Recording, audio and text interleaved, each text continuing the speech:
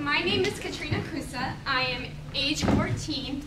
I am number 15, as you all can see, and I will be performing a monologue for you all today.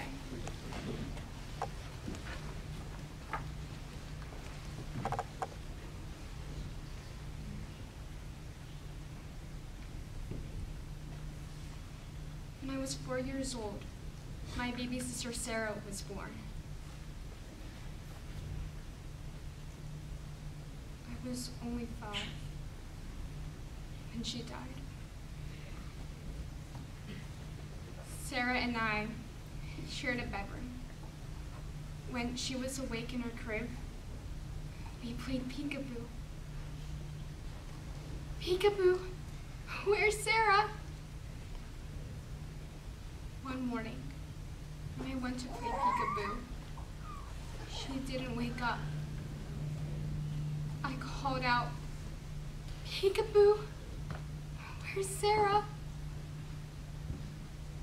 The next morning, when I woke up, Sarah's crib was empty. I called out, Where's Sarah? When Mama heard me, she took me by the hand and told me that Sarah was gone. That she died.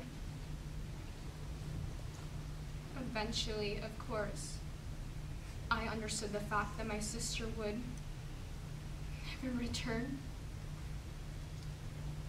So many years later, when I first wake up in the morning, I expect to see a baby in a crib, waiting to play peekaboo.